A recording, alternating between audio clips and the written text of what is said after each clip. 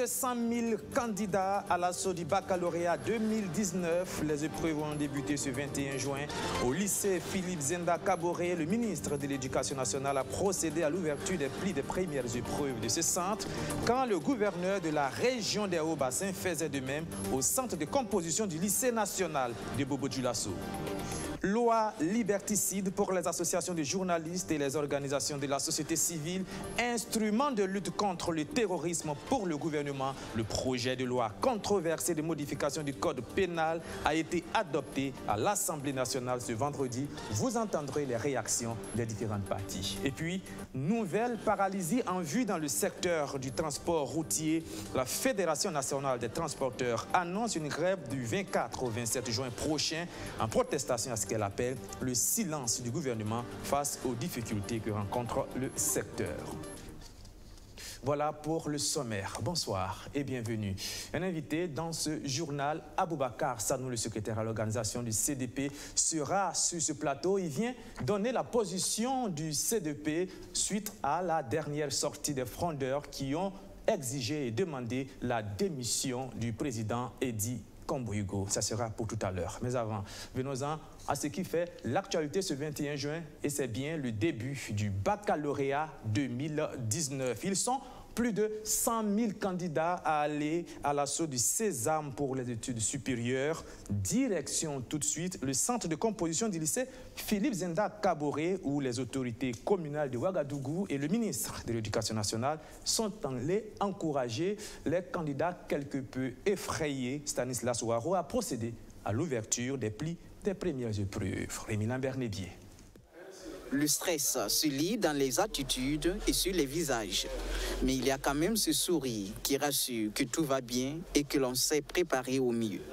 L'université leur ouvre ses portes à condition de franchir le dernier palier des études secondaires, l'examen du baccalauréat.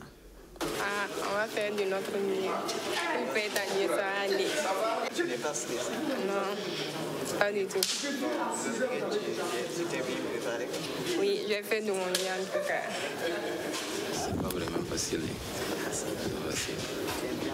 Ah, c'est le bandit là. C'est pas simple. Tu es quand même confiant. En tout cas, il y a l'espoir. C'est vrai que c'est pas facile, mais on espère en tout cas. Ils sont 110 508 candidats à prendre part à la session de 2019 avec un nombre élevé de candidats libres. Avec un, pourcentage de candidats libres assez élevé, un peu plus de 29 000, euh, qu'on pourrait justifier par aussi le relèvement du niveau de certains concours de la fonction publique qui nécessitent que des candidats se présentent. Et contrairement à l'année, par rapport à l'année dernière, nous avons un taux d'accroissement de, de- de, on va dire 13% d'augmentation du nombre de candidats et ils sont repartis dans 412 jurys à travers le pays. La région du centre enregistre 35 188 inscrits pour cet examen. Les premiers responsables de la région et de la commune de Ouagadougou ont donc voulu apporter leur part d'encouragement aux candidats répartis dans 127 jurys. Et nous leur souhaitons en tout cas beaucoup de courage. Et L'année dernière, nous savons qu'en tout cas au niveau de la commune de Ouagadougou, vous savez, nous avons beaucoup de lycées municipaux dans la commune de Ouagadougou. Euh, Nous avons eu en tout cas de bons résultats. Et notre souhait également que euh, nos élèves, si je peux m'exprimer ainsi, hein, qui se battent bien et qui nous aient encore davantage de, de bons résultats. Et c'est sûr que si cela est fait, nous allons les féliciter, les encourager. Pour l'organisation du baccalauréat, les autorités en charge de l'éducation affirment avoir jugulé les difficultés liées à la situation sécuritaire. Et il y a des endroits où il n'a pas été aussi facile donc, de pouvoir donc, disponibiliser les, les- les sujets, mais ça a été fait et donc tout se passe bien. Maintenant, il se trouve que certains élèves, effectivement, n'ont pas pu achever leur cursus, mais on fait donc un volume horaire qui est assez intéressant. Et pour nous, ce volume horaire permet, si des efforts d'un mois et demi de cours intensifs sont faits, ils pourraient prendre part donc, à la session. Donc ça concerne des candidats de la région du Sahel, ils sont au nombre de 12. hein. Ils ont été évalués au nombre de 12 et ceux-ci prendront part à la session de remplacement en septembre. Ils vont d'abord subir des cours de renforcement en juillet et août, et puis en septembre, ils prendront part à la session de remplacement comme des candidats du BPC que nous avons évalués à, 600, à 612 et puis des candidats du, du CEP donc, ont été évalués à un peu plus de 1700 à travers les six régions difficiles. Plus de 37 000 personnes sont mobilisées pour l'organisation et la session 2019 coûtera 4 milliards 600 millions de francs CFA au budget de l'État. Nous quittons Ouagadougou pour euh, Bobo Dioulasso, la capitale de la région des Hauts-Bassins, région où plus de 15 000 candidats affrontent l'examen du baccalauréat. Dans la ville de Sia, c'est au lycée national que le gouverneur de la région est allé donner le coup d'envoi des épreuves. Maguib Bakouan, Sotou, Justin Dabiré pour le compte rendu. Dans la région des Hauts-Bassins, ce sont 15 511 candidats repartis dans 52 jurys avec 31 centres qui prennent part aux examens du baccalauréat 2019. C'est au lycée national de Bobo Dioulasso que les autorités administratives et éducatives ont procédé au lancement des épreuves. Il est 7 heures, les surveillants procèdent à l'appel des candidats qui regagnent leurs salles de composition respectives. Une fois en classe, certains candidats se disent confiants malgré le stress. Je suis confiant, je suis confiant. J'ai le sang-froid et je prie Dieu de garder le sang-froid, qu'il me donne le courage aussi de pouvoir tout terminer dans le bon sens et que ça marche pour nous tous les candidats. Il est vrai qu'il y a quand même un peu de stress, mais Inch'Allah, ça ira. Bon, après avoir préparé les neuf mois, je crois qu'on est prêt pour affronter le reste des épreuves. Les épreuves plutôt. À 7h20 minutes, Antoine Athiou, gouverneur de la région des Hauts-Bassins et sa délégation font leur entrée dans une salle de composition. Après des mots d'encouragement à l'endroit des candidats, le gouverneur procède à l'ouverture de l'enveloppe comportant l'épreuve de français, première épreuve du baccalauréat série D. Antoine Athiou espère de bons résultats dans la région des Hauts-Bassins malgré les perturbations qu'a connues le monde éducatif. Cette année, nous souhaitons que dans notre région, il y ait euh, beaucoup d'admis. Nous savons que l'année n'a pas été du tout euh, facile. Euh, quand on sait qu'il y a eu quelques perturbations, mais les candidats nous ont rassuré qu'ils sont prêts et qu'on pourra s'attendre à de bons résultats. Pour le président de l'université Nazi Boni, professeur Make Ouedraogo, quelques innovations sont adoptées pour le bon déroulement des examens du baccalauréat session de 2019.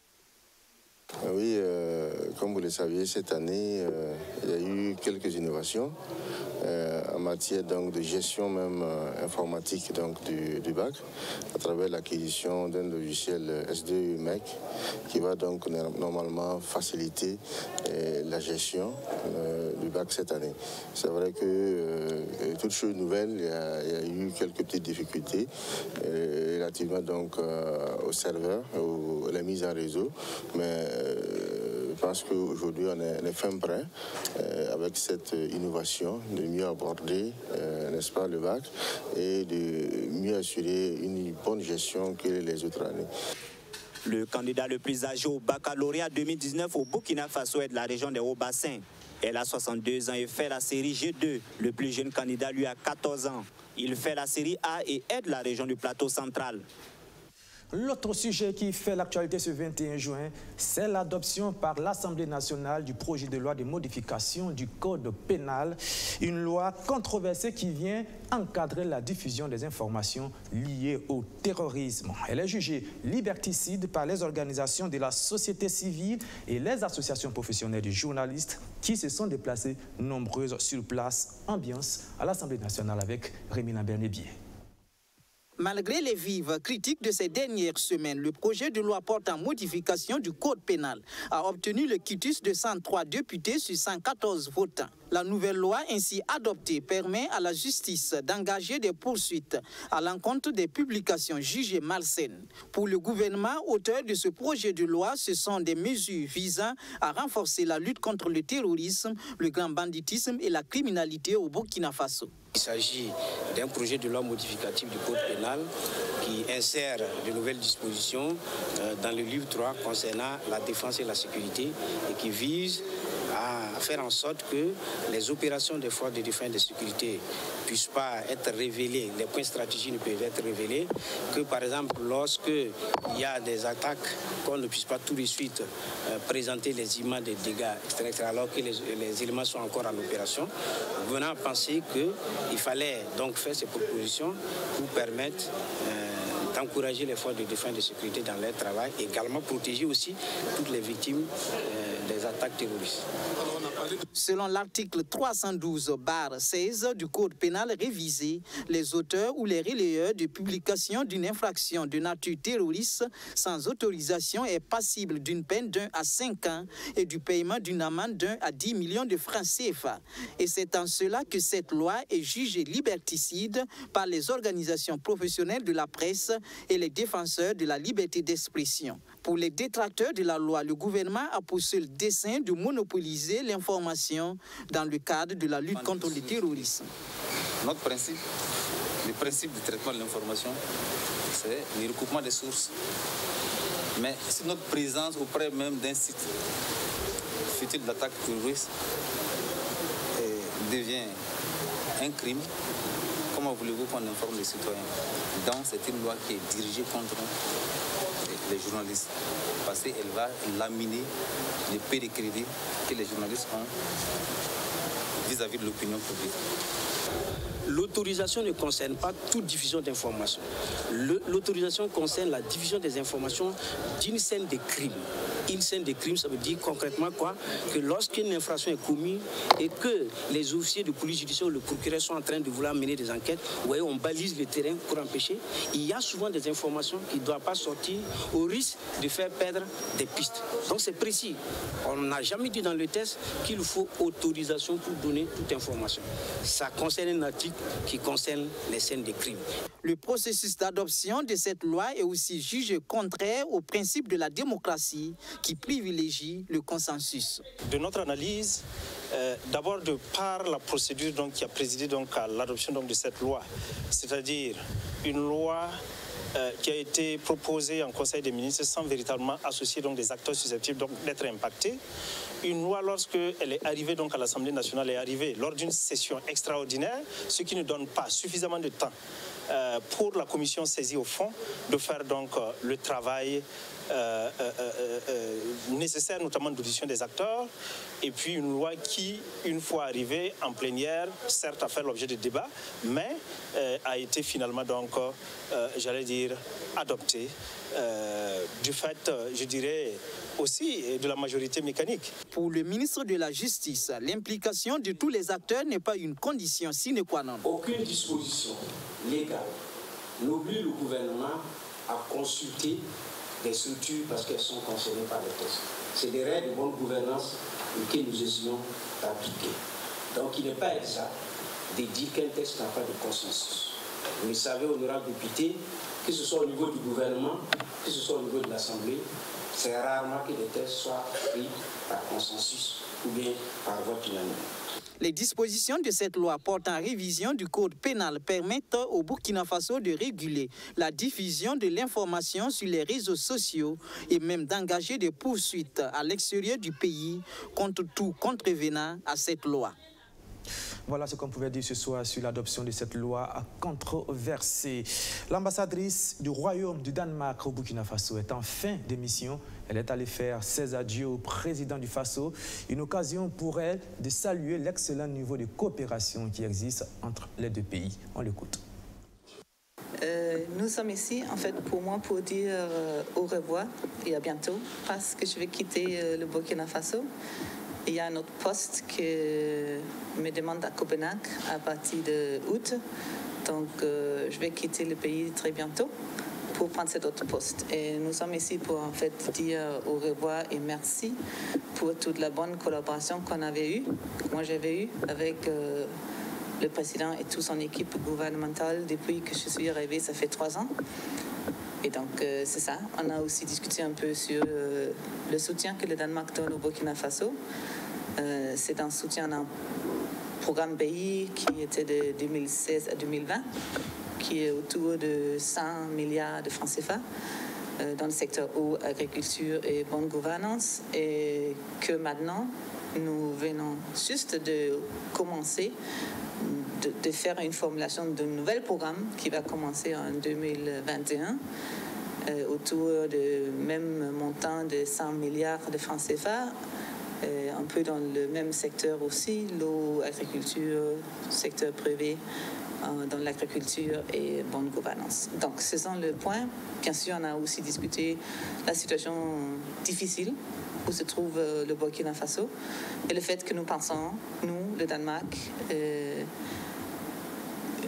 moi et mon équipe, c'est notre premier conseiller à l'ambassade et toute mon équipe, nous pensons que c'est très très très important euh, de montrer notre soutien, d'être à côté du gouvernement pour que euh, le gouvernement peut faire son travail, pour que le gouvernement peut être euh, euh, là pour faire les bonnes choses pour toute la population dans toute les zones euh, où il y a des fragilités et toute autre zone aussi.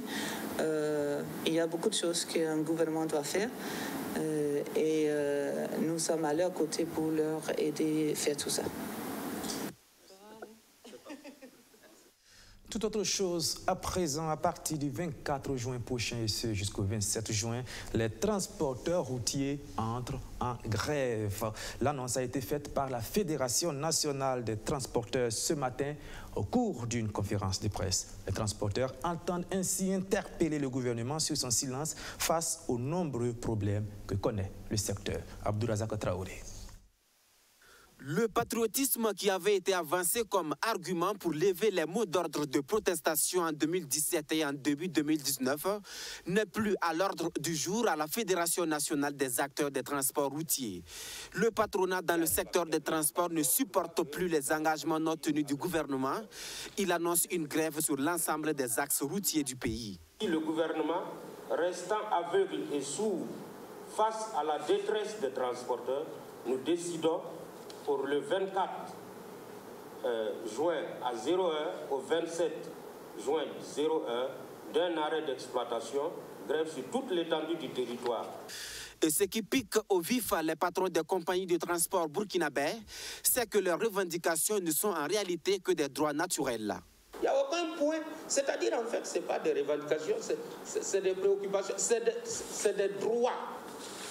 Pour la fiscalité, on doit nous mettre à la, euh, sur le même pied d'égalité que les autres secteurs de l'économie. On ne doit pas taxer doublement. Le gouvernement aurait promis de racler les ralentisseurs construits de manière anarchique au plus tard au mois d'avril. L'échéance est expirée et rien n'y fit. On, on, on jonche les, les, les, nos voies d'obstacles. Qu'est-ce qu'on peut faire? Mais il faut dégager les voies pour qu'on puisse circuler. Lorsqu'on prend, on paye, on paye par exemple ce qu'on appelle le péage. Vous voyez par exemple, entre-temps sur la route de Fada. Mais on continuait à percevoir le péage. Mais le péage, c'est pour vous offrir des routes praticables. Mais est-ce que ces routes étaient praticables? Il y a combien de routes sur lesquelles il y a des péages aujourd'hui? Les transporteurs payent pour pouvoir passer, pour qu'on entretienne ces routes-là. Mais personne ne sait où ça va. Donc, vous voyez, quand même. Les compagnies de transport sont au bord du gouffre. Une compagnie dépense en moyenne 1,5 million par semaine pour maintenir le prix des titres de transport en l'état. Depuis l'augmentation du prix du carburant, regrettent ces acteurs. Le carburant aussi, ben voilà, depuis février, on nous a promis que quelque chose sera fait. S'il y a des difficultés, le gouvernement devait nous revenir pour nous dire, bon voilà, écoutez, et on a ceci, il y a ceci ou cela qui, que nous avons rencontré et que nous ne pouvons pas vraiment euh, euh, accéder, voilà, ou bien, bon, pour gagner encore du temps. Mais rien. Rien. Les passagers et les conducteurs de bus souffrent le martyr sur les axes routiers en cause les raquettes des forces de défense et de sécurité. Bon, comme vous le savez, les tracasseries routières, c'est clairement du racket. C'est-à-dire qui dit racket euh, dit que c'est un peu de l'escroquerie exercée sur les, les, usagers de la route. Donc, euh, nous avons estimé qu'il n'y avait pas de délai pour que cela s'arrête. immédiatement, ça devait s'arrêter immédiatement. L'arrêt d'exploitation annoncé sera suivi d'une augmentation des prix de transport, même si les transporteurs, eux, parlent plutôt de réajustement.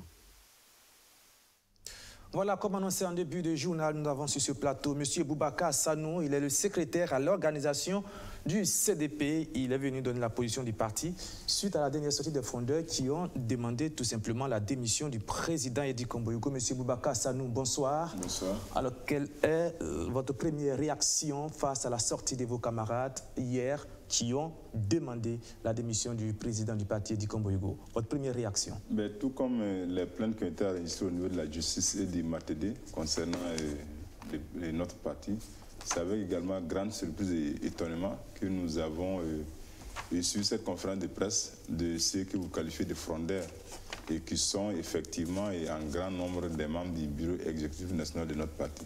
Vraiment, c'est avec une très grande surprise. Vous êtes surpris, mais est-ce que vous entendez les arguments qu'ils avancent? Est-ce que vous les comprenez? Non, Je pense que euh, ce qu'ils ont ils ont déballé ou ils ont dit devant la presse, je pense qu'on aurait pu en parler d'abord en interne. Parce que lorsque nous prenons les principaux acteurs, je vous dis que vraiment c'est avec très grande surprise que nous les avons vus dire ce qu'ils ont eu à dire donc devant la presse, notamment la malgouvernance dont ils font cas, et même aller jusqu'à demander la démission du président du parti. Et vraiment, c'est avec un très grand étonnement. Parce que nous pensons qu'au niveau de notre parti, il y a des mécanismes, il y a des organes, il y a des instances qui permettent aux militants de pouvoir s'exprimer. Il y a les différentes réunions du Bureau exécutif national. La dernière réunion, nous l'avons tenue le 17. Il y a le Haut Conseil qui est composé en grande partie donc, euh, de toutes les hautes personnalités qui ont accompagné le président Compaoré durant la gestion du pays pendant les, 27 années où il a gérer le pays. Et au-delà même, nous avons le président Compaoré, qui est le président d'honneur du parti, qui est également un recours au cas où réellement, entre nous, membres de la direction, il y a des difficultés. Nous avons placé le président Compaoré comme président d'honneur du parti et nous pensons que c'est des voies de recours si effectivement ceux que vous qualifiez de frondeurs sont de bonne foi, si effectivement ceux qu'ils avancent sont justifiés, je pense que tous ces organes existent. Le Haut Conseil dirigé et coordonné par le président Méligue Maurice Traoré, avec Bonyessan Arsène avec Luc Adolphe Tiao, avec euh, Paramanga Ernest Sionli, avec bien d'autres personnalités très bien respectées, Sungola Porné Ouattara. Et je pense que si effectivement ils étaient de bonne foi, et effectivement les faits avancés étaient avérés, ils pouvaient leur soumettre la, question. Voici ce que nous avons constaté et nous demandons donc à ce que vous puissiez vous saisir de cette question pour essayer de trouver une solution. À défaut même, au-delà de tout ça, nous avons un président d'honneur, qui est le président Compaoré. Et nous avons dit qu'il est le fondateur du parti. Si effectivement quelque chose touche le fonctionnement du parti fondé par le président Compaoré, nous pensons qu'au-delà de tout ce que nous avons dit, on peut au moins lui euh, soumettre la question et lui demander de se prononcer là-dessus. Vous venez d'énumérer quelques instances de, de, recours pour les règlements internes, mais ceux que vous appelez vos camarades ont fait savoir que toutes les voies de négociation entreprises ont échoué, et justement parce qu'ils accusent euh, euh, euh, le président Edi Komboyogo de n'en faire qu'à sa tête. Ils ont même dit qu'il dirige le parti, le CDP, comme s'il dirigeait son entreprise. voilà l'une des reproches principales je vous dis que C'est malheureux, c'est malhonnête. Parce que, comme je vous l'ai dit, nous avons un bureau exécutif national qui est composé de 130 membres. Et je pense que les, 17, nous devions peut-être être à notre 20e ou 21e réunion.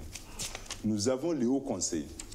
Et vous n'allez pas dire que quand même tous ces, tous ces, personnalités sont à la botte du président Comboigo.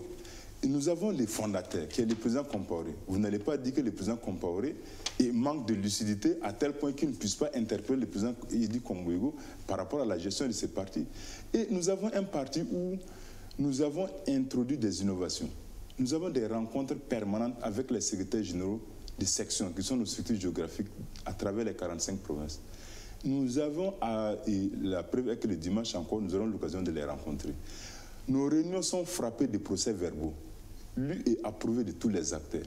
Je ne sais pas, et, c'est avec grande surprise, j'aurais souhaité que c'est ce que vous, qualifiez de frondeurs, qu'ils puissent nous, nous dire lors de quelle instance ils ont eu à interpeller le président du parti par rapport à ce qu'ils disent. Et je ne sais pas qu'est-ce qu'ils qualifient effectivement de mauvaise gestion, qu'est-ce qu'ils qualifient de dysfonction, quel est le problème qui, qui a été posé, qui n'a pas trouvé de solution en interne pour qu'on en arrive à une conférence de presse. Parce que ce que je tiens à, Vous- rappeler... Ce que vous appelez vos camarades ont énuméré euh, euh, euh, quelques griefs contre le président Edi Komboigo. Et je tiens sous euh, mon regard ici les déclarations au cours de la conférence de presse. Je vais lire rapidement. On est dans un journal, on n'a pas suffisamment de temps. Mais ils disent par exemple qu'on note l'exclusion d'anciens membres du bureau politique national avec pour motif qu'ils ne sont pas du camp du président du parti. Et ceci en violation du consensus sur le maintien des anciens membres de la direction politique nationale, consensus issu du 7e congrès ordinaire. Il y en a encore, euh, ils ont écrit par exemple la non-relecture à ce jour du programme du parti pour le mettre en phase avec le contexte politique national et international actuel, privant ainsi le parti d'une offre politique au moment où l'échiquier politique national est en pré-campagne pour les élections de 2020, la non-édition et la non-diffusion des actes finaux du Congrès, dont les résolutions historiques portant statut du fondateur auprès des militants et des structures, malgré le rappel des faits par les militants à plusieurs occasions. Les griefs sont nombreux. Vous, vous voyez déjà, ça dit, dès longtemps, vous voyez que quelque part, il y, a, il y a la mauvaise foi et à la limite, il y a des mensonges. Le président Edi Komwego a été élu lors du congrès par un collège de 112 membres. Au sorti du congrès, des 33, même ceux qui n'ont pas voté le président Edi Komwego, ont été maintenus dans la direction du parti. Les 33 qui ont voté contre le président Komwego ont été maintenus dans la direction du parti. Si Edi Komwego est capable de composer une direction en maintenant ceux qui ont voté contre lui, ce n'est pas au sortir de ce congrès qu'il va exclure des membres, des gens du bureau politique national. C'est malheureux, c'est malhonnête et réellement c'est triste. Je pense que nous sommes face à des acteurs qui n'ont pas su digérer leur défaite lors de l'élection du président Komwego à l'i- à- l'issue du congrès. Lorsque euh, vous avancez, je ne sais pas, l'autre grief, c'est quoi encore? Oh, bon, la, la non- la non-édition, la non-diffusion La des non- actes finaux la du Congrès. non-édition des actes finaux du Congrès. Mais c'est faux. Ils mentent. Les rapporteurs du Congrès, c'est les camarades Milogo et Yakuba. Les actes finaux sont là. Tout est là. Ils ont demandé l'édition. Nous avons dit, effectivement, nous allons éditer. Et nous avions prévu l'édition et le coût Donc, même. les actes finaux du Congrès n'ont pas encore édité. Ça a été édité, Ça il a été reste à multiplier. aussi. Mais c'est diffusé, c'est disponible. Vous partez au siège tout de suite, vous avez, vous avez accès Là, au il parle de diffusion, c'est-à-dire Oui, c'est ce que je suis en train de vous dire. C'est là, il- il- quand on n'entend pas diffusion, qu'est-ce que vous n'entendez pas diffusion? Nous avons dit les partis manquent de moyens. Et nous avons dit, si vous voulez qu'il y ait une large diffusion, nous allons faire la reprographie et le document sera entreposé au siège et vendu à hauteur de 2000 francs par document. Où est, la- où est le, le manque de diffusion à ce niveau? Il n'y a pas de manque de diffusion. Et les actes finaux, c'est les actes auxquels nous avons tous pris part. Et le rapporteur général a produit les actes finaux. Alors, peut-être que ce sont des griefs qui portent à interprétation. Venez-en. Non, à- je vous à dis que- non, attendez, monsieur. Venons-en à ce qui a, a conduit euh, euh, vos camarades, comme vous les appelez, à envoyer l'affaire en justice, c'est-à-dire le nombre pl- pléthorique euh, au niveau des membres du bureau politique national, et qui est passé de 600 à 1000. Ça, c'est un fait incontestable. Non. Je vous dis que je défie quiconque de produire un document signé pour dire voici le bureau politique national du CDP. C'est pas vrai. Tout Donc, ça, non. Le bureau politique national n'est pas composé de 1000 membres Non. aujourd'hui. Nous, nous avons fait le point au sortir du congrès.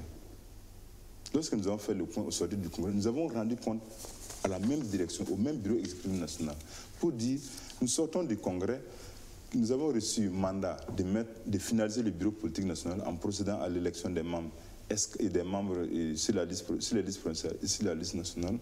Nous avons fait le point, nous sommes déjà en dépassement par rapport aux normes arrêtées dans euh, les statuts. On fait comment? La même direction nous a dit Ok, il n'y a pas de problème, puisque dans les concepts que nous avons arrêtés, il y a ce que nous appelons membres actifs et membres inactifs. Et comme nous n'avons pas la situation exacte des membres inactifs, il y a lieu que nous fassions rentrer de nouveaux membres pour nous permettre que le bureau politique puisse être dynamique. C'est ce que nous avons fait. Et en, en- en identifiant ces, personnes, effectivement, en les ajoutant à ce que nous avions déjà, nous sommes retrouvés avec près de 1000 personnes.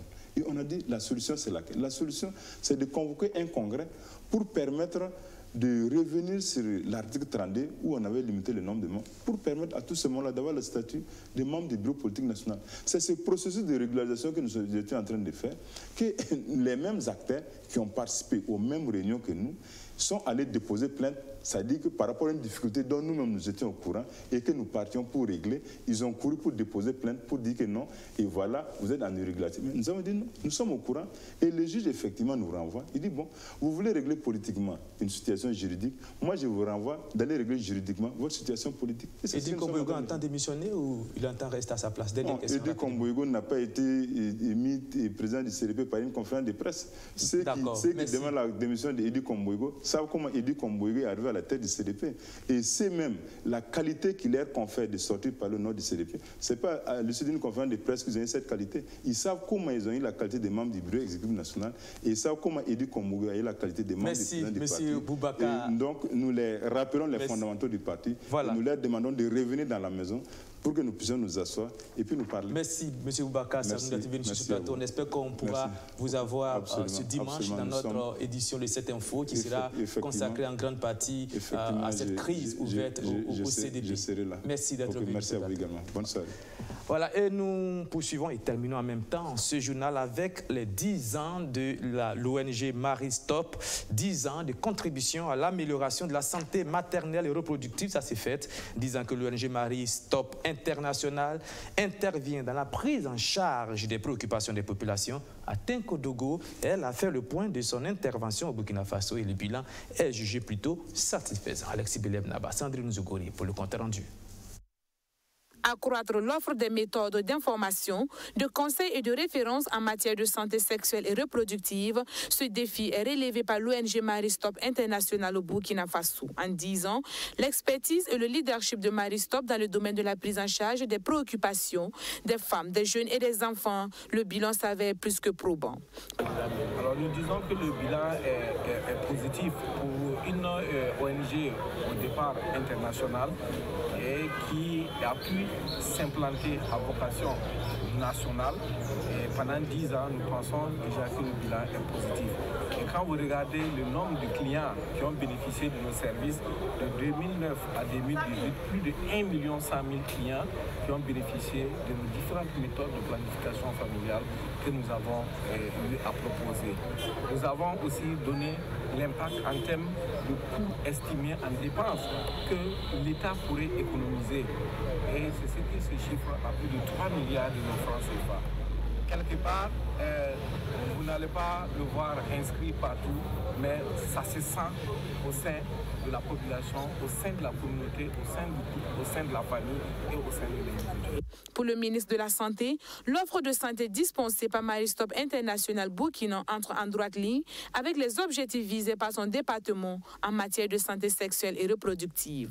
Les soins offerts par Maristop International Burkina Faso rentrent en droite ligne de- des attentes, des objectifs visés par le département ministériel de la santé sexuelle et reproductive de qualité associée à la planification familiale nous accompagne un des maillons importants de notre chaîne vers l'atteinte de, de l'accélération de la transition démographique par la planification familiale, par euh, leur activité, par leur présence. Ils nous permettent d'atteindre, d'augmenter la cible de disponibilité de, de- de produits de planification et d'augmenter l'offre de soins de planification familiale à nos femmes. Implantée en 2019 dans la capitale burkinabé, l'ONG couvre aujourd'hui toutes les 13 régions du Burkina Faso. Pour Maristop International Burkina, des efforts restent à faire en termes de communication pour aller au-delà des attentes de la population. Voilà, et c'est la fin de ce journal. Merci de l'avoir suivi merci encore une fois pour votre fidélité renouvelée. Je vous donne rendez-vous à la même heure, 19h30 demain.